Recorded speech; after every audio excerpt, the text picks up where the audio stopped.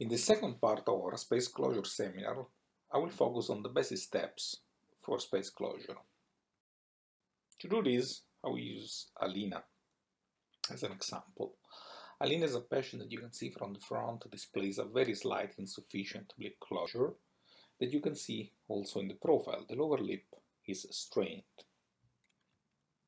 When we look at the lateral ceph and the panoramic image, we start to see actually that their incisor, they are in front of the anterior nasal spine and in front of the soft tissue pogonion, which is also partially confirmed by the cephalometric analysis that present a very slight posterior pattern of growth. So it was decided to extract four premolars.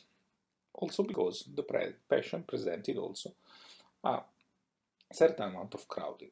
This, together with the fact that she's got lip incompetence, that her incisors are proclined that in front of the skeletal base she's got a posterior of growth make me decide that I want to extract four premolars. Whenever you want to extract the first thing you have to extract, you have to decide the pattern of extraction. So which teeth to extract.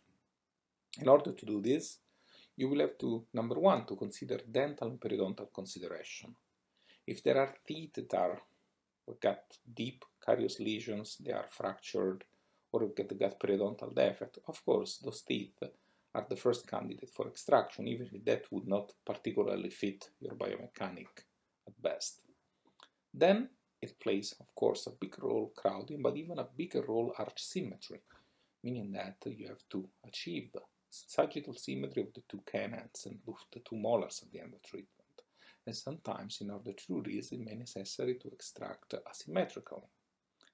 Tooth size is very important, remembering that uh, second premolar in the upper arch they tend to be smaller than first premolar. And finally, the anchorage needs. In this case, we decided to start to extract in the lower arch two second premolar. And you can see here that we start to treat patient in the lower arch.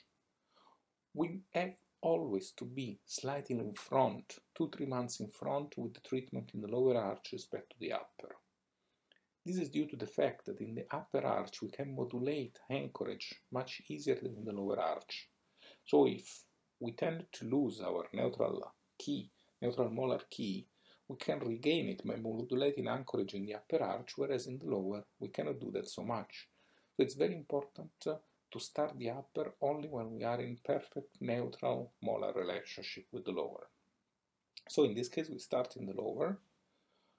When there is crowding, I normally allow a raveling of crowding for driftodontics. This means that if you extract, the teeth will tend to spontaneously drift into the extraction space and without need to perform individual retraction of premolars, which always complicates things. You have to decide in this stage if you want to bend back or not to bend back. This is not so much a factor in the lower arch, it's more a factor in the upper arch. Why? Because in the upper arch we have an offset in, built into the tube of the molars, which tend to distal-rotate the molars. So if you bend back, meaning if you cinch back behind the molars, you block the arch length. If the molar distal rotate, you will tend, of course, to retract the front. You may want it or not, depending on the case, but you have to be aware that this is what is going to happen, and you can decide accordingly. After this, I proceed here in the lower arch, we proceed to a rectangular wide, and when I can, I've achieved a neutral molar relationship that you can see in the lateral picture, I start the extraction also in the upper. In the upper also we're extracted to second premolar in this case, because I wanted to try not to retract very much the incisor, both in the upper and the lower, to privilege control of the vertical. I keep being a step in front in the lower arch always, so I start already my space closure with double key loop in the lower, while in the upper I'm still waiting, and then I can close in both sides, in both arches. I make my first bracket repositioning only after I've closed the spaces. In normal non-extraction patients, I do my first bracket repositioning after 6 weeks in the first rectangular nickel titanium wire. In extraction cases, it's an exception, and I will do it only when the whole spaces are closed, because I don't want to risk to delay space closure and to risk that the alveolar process can shrink. So I prefer to hurry up with closing the space and to postpone repositioning at the end of this phase. After the first bracket repositioning, I go up to working wires, so 1925 steel or 2125 steel, according to the kind of uh, slot that you use. And after 6 to 8 weeks in working wire, I will take a second repositioning in articulator mounting, and this second repositioning I will reposition the bracket in order to achieve maximum intercuspidation and to come to a good occlusal result. The patient got a nice display of the smile, and on the profile there was an acceptable profile with a good definition of the upper and lower. Of course, she still has mandibular retrusion because we cannot grow a with extraction treatment.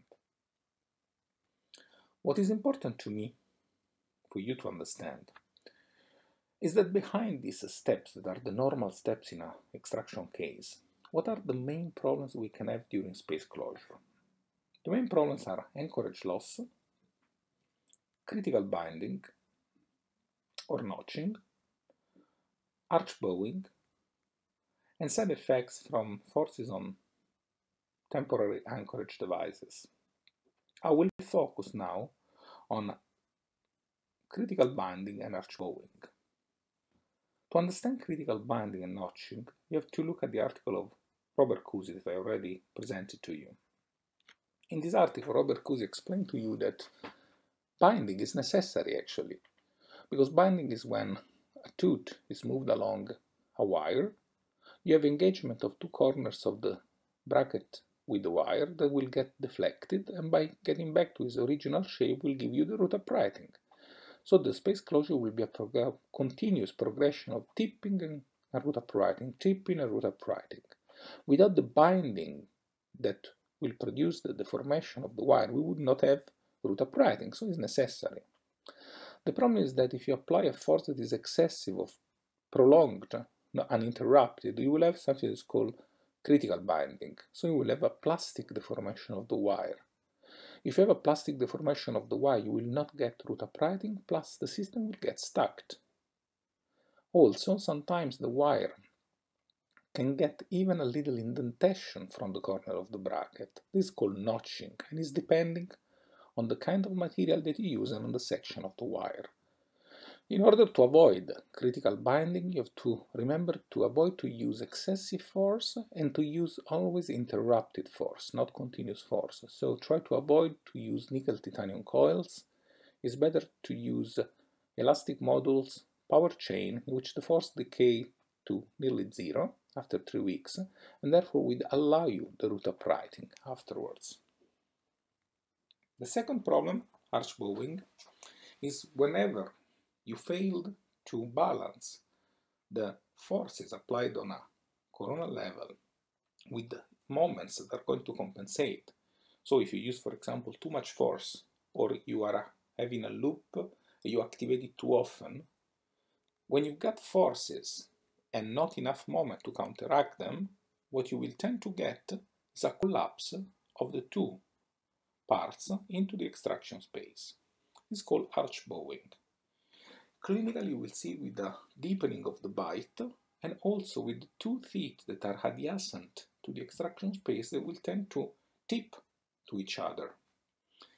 Whenever this happens, you have to avoid reactivation of the space closure, you have to insert a counter sweep or eventually reactivate the loop for giving the moments, and you will have simply to wait for correction of this.